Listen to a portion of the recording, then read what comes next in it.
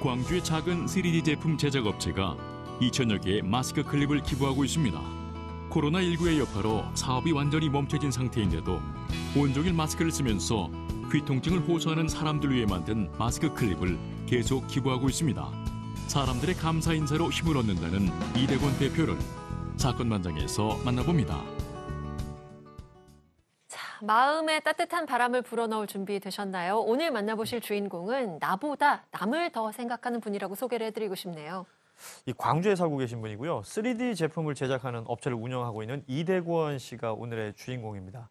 2018년에 이제 창업을 하고 지역에서는 꽤나 이름을 알려가고 있는 상황이었는데 모두가 그렇듯 이 코로나19 여파로 굉장히 큰 타격을 입었다고 합니다. 네. 이 어려운 상황을 겪으면서도 좀 긍정적인 생각으로 이 난국을 뚫고 나가자 라고 마음을 먹었다고 해요. 그러니까 나만 힘든 거 아니지 않느냐.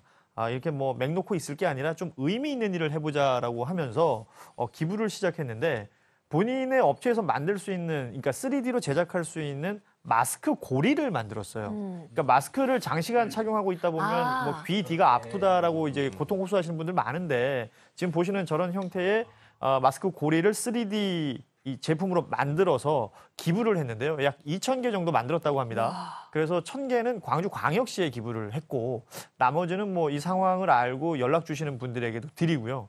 또 특히 그 고등학생들, 또 대학생들, 또 아이가 있는 어머니들 이런 분들께 무료로 나눠주고 있다고 합니다. 자, 이쯤 되니까 이대권 대표가 어떤 대표일지가 음. 또 궁금한데요. 목소리 직접 들어보겠습니다.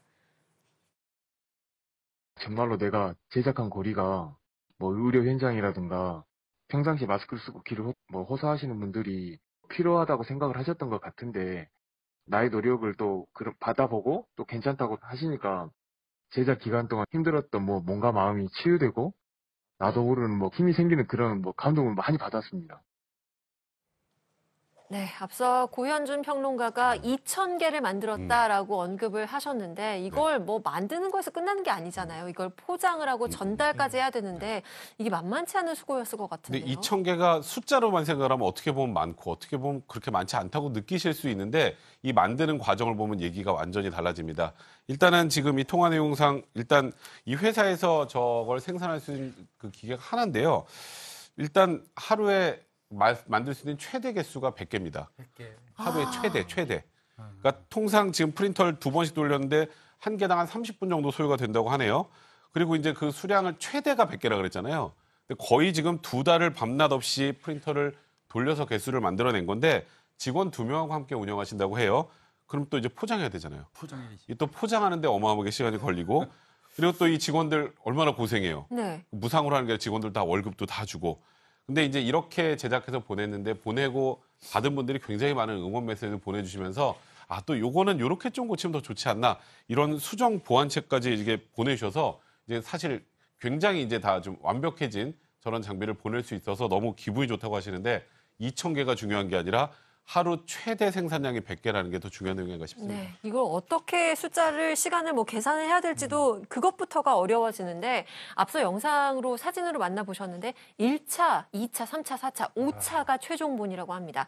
이렇게 계속해서 좀 더 보완이 됐으면 좋겠다는 피드백도 꼼꼼하게 챙겨보고 제품을 계속해서 업그레이드를 했는데요. 여기서 기부를 했으니까 이제 끝 이게 아니라 다음번에는 어떻게 예. 기부를 할까 또 계속해서 고민을 하고 있다고 해요. 네, 이분은 뭐 어, 이번 그 일이 쓰고 난 다음에 그 뿌듯하면서도 굉장히 기분이 좋은가 봐요. 근데 이분이 이제 그 15일 날이요. 중소기업 사랑 나눔 재단이 있습니다.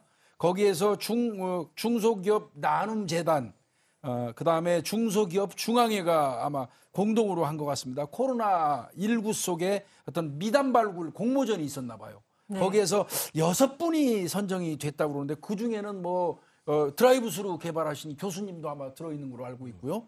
그분 중에 그 여섯 분 중에 한 분으로 이분이 그 뽑혔어요. 그래서 어, 본인 입장에서는 그 어, 큰 일도 한 것도 아닌데 내가 그 여섯 명 속에 들어갔다는 게 너무나 좀 부끄럽다. 어, 이렇게까지 얘기를 했는데 예, 앞으로도 뭐 어, 본인이 할 수 있는 일은 좀 또 어, 찾아서 하신다고 얘기하시고요. 상금으로 또 그 상품권 받으셨나 봐요. 근데 그 직원들도 다 나눠주셨다고.